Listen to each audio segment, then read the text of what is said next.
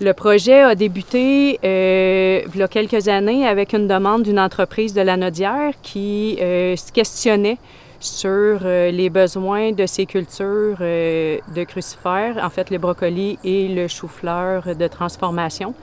Cette entreprise est spécialisée, c'est les productions maraîchères Mayotte, est spécialisée vraiment en régie conventionnelle et en régie biologique. Puis au début de sa transition, elle se posait la question vraiment si euh, quelle quantité d'azote mettre dans leur culture pour avoir pour obtenir les meilleurs rendements. Euh, alors on a monté le projet euh, selon euh, pour répondre en fait euh, à leurs besoins. En 2010, il y a eu une nouvelle publication des grilles de fertilisation dans le guide de, référence du CRAAC. Euh, ces résultats-là ont été faits pour euh, des régies conventionnelles.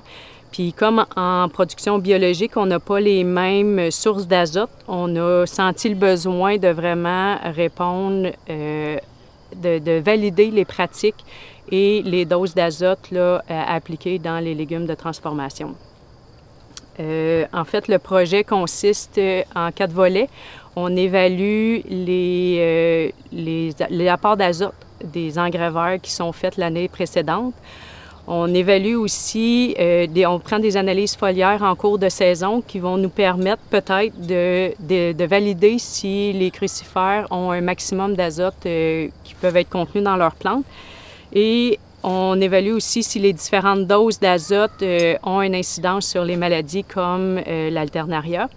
Et finalement, on a implanté deux types de parcelles pour voir les rendements selon les doses, des différentes doses d'azote.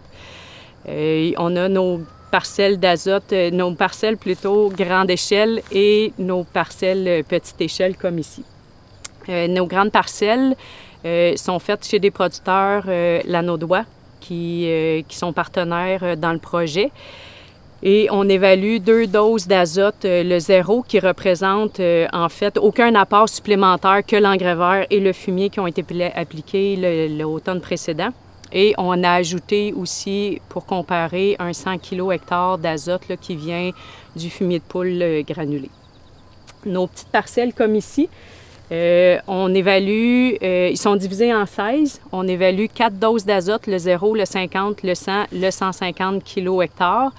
Euh, en fait, les, puis ils sont répliqués quatre fois euh, dans la parcelle. Fait quand on voit, mettons, quatre rangs, c'est un bloc, mettons, une répétition. Le, deux, le deuxième, quatrième rang, c'est le deuxième, euh, la deuxième répétition, troisième et quatrième répétition pour les quatre doses.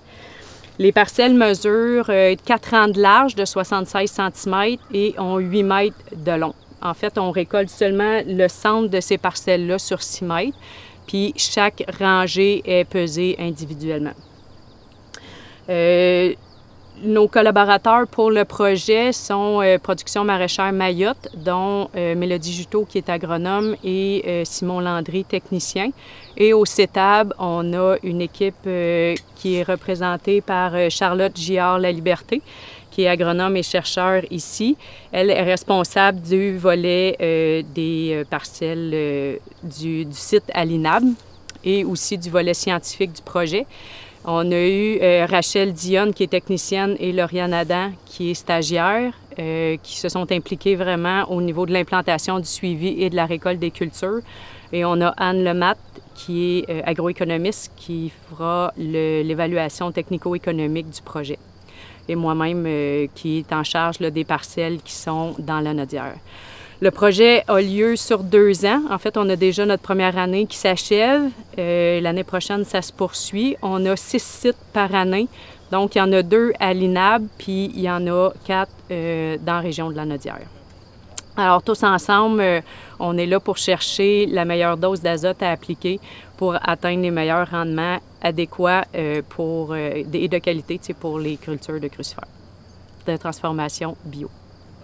Donc moi, j'ai participé dans le projet à l'implantation des parcelles ainsi qu'à, dans le fond, euh, l'application des différentes doses de fumier granulé. J'ai aussi participé au suivi, au dépistage d'insectes, au suivi de croissance des cultures, la sortie des têtes, ainsi qu'à la récolte, le classement, la prise de données dans ce projet-là ça a été euh, quand même une chance pour moi là, de voir la grande culture euh, de crucifères. C'est pas quelque chose qu'on voit euh, de façon très abondante ici, au, plus au centre du Québec, à la c'est quand même assez présent. Donc, ça m'a quand même donné la chance de travailler sur un beau projet comme ça qui a vraiment un impact direct sur la filière. c'est un projet très intéressant d'avoir des réponses assez immédiates. On peut constater des résultats à l'œil comme ça, super intéressant. Euh, moi, j'ai aussi travaillé dans le projet des brocolis. Puis, euh, j'ai principalement fait aussi l'implantation, la récolte, mais j'ai aussi travaillé sur euh, la récolte des foliaires des brocolis. Puis, on pouvait voir aussi, c'était deux fois par, par durant l'été. Puis, on pouvait voir une différence juste à l'œil. certains étaient plus gros ou plus petits. Puis, voir l'impact euh, sur les différents sites qu'il y avait dans la Nodière. Euh, j'ai beaucoup aimé ça parce que euh, ça me sortait un peu de ma zone de confort. Je suis plus dans le milieu grande culture. Puis, je voyais d'autres d'autres maladies ou d'autres aspects que les crucifères ont qu'en grande culture, ils n'ont pas. aussi, j'ai aimé ça parce que l'équipe, on, on, était toutes comme pas soudée, mais si j'avais des questions, je peux en poser à Martine ou euh, à Rachel, puis euh, euh, à Charlotte aussi. Puis disons que on, s'informait tout sur qu'est-ce qu'on voyait, puis tous les, impacts sur les crucifères qu'il y avait durant la saison. une entreprise, que ce soit une entreprise maraîchère en grande culture, que ce soit une entreprise conventionnelle biologique, pour qu'elle vive, pour qu'elle perdure, il faut qu'elle soit rentable. Ça veut dire qu'elle doit dégager suffisamment de marge pour pouvoir continuer à investir, se moderniser, passer à travers les mauvaises années. Alors, euh, ce qui est intéressant quand on est dans des, dans, dans des cas comme ça soumis par des producteurs, il y a une problématique, on cherche une solution en recherche. Et euh, donc, ce qu'on va faire dans le cas du projet que, que Martine vous a présenté, c'est que, eh ben, on va, on va essayer de mettre des dollars sur les techniques qu'on teste les méthodes qu'on teste.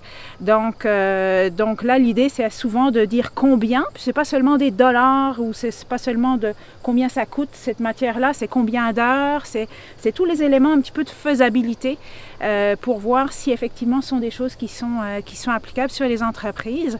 Alors finalement, une évaluation économique, c'est pas si compliqué. on commence par le faire en recherche, comme ça, on peut mettre simplement un ratio coût-bénéfice, on peut mettre, on peut mettre un, juste un, une notion de coût, mais c'est surtout la marge, ce qui reste, qui nous intéresse. Et puis ensuite, c'est d'aider les gens à transposer la méthode euh, et de faire des calculs simples, des fois soi-même sur l'entreprise pour, euh, pouvoir euh, effectivement passer à une nouvelle technique et rester compétitif. Parce que c'est ça qu'on veut dans le fond, cette âme, c'est aider les entreprises à améliorer leur technique, baisser leurs coûts de production pour, pour développer leur compétitivité. Voilà.